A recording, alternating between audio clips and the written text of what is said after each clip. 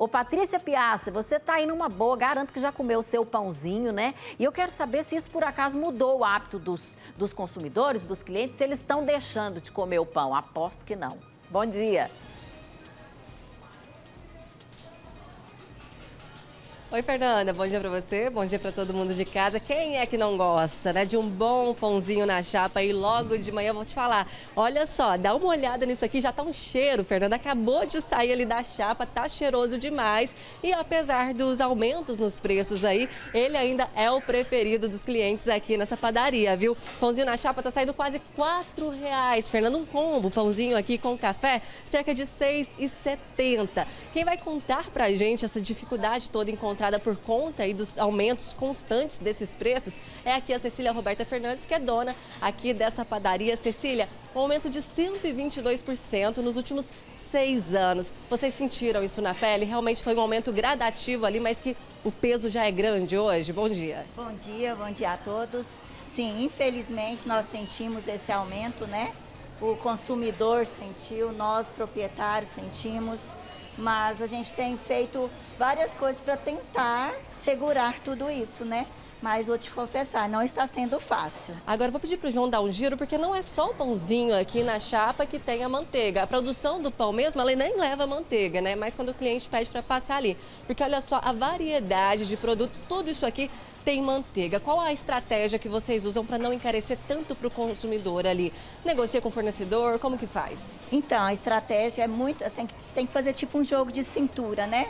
Negociar com o fornecedor, procurar matéria-prima que esteja mais em conta, né? Vai atrás de promoções. E uh, nós não deixamos a qualidade cair.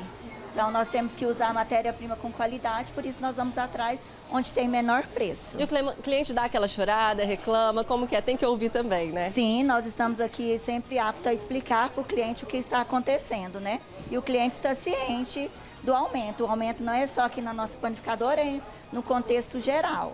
Agora, eu dei uma olhada ali no preço da manteiga, viu, Fernanda? De 200 gramas está custando até quase 13 reais. Então, para quem vai levar para casa, pesa bastante também no bolso. Dados de uma pesquisa, olha só a pesquisa. Agora, esse não foi o único produto que aumentou, né, Cecília? Teve mais coisa aí. O que, que mais está pesando hoje? Sim, nossa matéria-prima em geral. Teve, teve um aumento, né? O ovo, o leite, a farinha, farinha nem se fala, farinha subiu demais mesmo, nós estamos tendo que comprar em alta quantidade, fazer o estoque. Na verdade, hoje eu estou fazendo estoque de quase toda a matéria-prima. Farinha, inclusive, que é importada muitas vezes, É, né? e a, nós não podemos ficar sem essa farinha que nós usamos, que é uma farinha de qualidade, para o produto chegar na mesa do, do nosso cliente com qualidade. A então, Cecília nós falou... não baixamos a nossa qualidade devido ao preço. Maravilha. Olha só, a, a, Cecília falou aqui dos lácteos, né, do produto, do leite, né, que teve aumento também. Teve aumento, olha só, de cerca de 59%, Fernanda, bem abaixo da manteiga, que chegou a 122%. E esse valor de 122% está bem acima da inflação, viu? 2,5 vezes mais, além aí da inflação. Fernanda, a Fernanda tem uma pergunta do estúdio? Pode fazer, Fernanda. Não, na verdade, eu queria reforçar isso, que está tudo caro demais e a gente às vezes não faz conta do pãozinho, os centavos que aumentaram ali no pãozinho, dos centavos que aumentaram no cafezinho, do que aumentou na manteiga, do que aumentou na gasolina. A gente não percebe nos itens, mas a gente percebe no orçamento, que no orçamento não está cabendo. Agora, o seu momento ostentação, Patrícia, eu estava aguardando por isso aqui você vai dar uma mordidinha e vai fazer aquele barulhinho creque aqui pra gente ouvir em casa. Pra poder fazer essa degustação. Olha o tanto que tá bonito. Tá, Vamos lá. Delícia.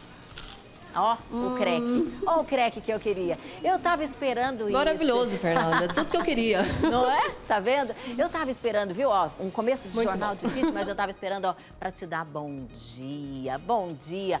Abre a janela de casa para ver o sol que tá aí. Come o seu pãozinho quentinho. Comece o dia de um jeito leve.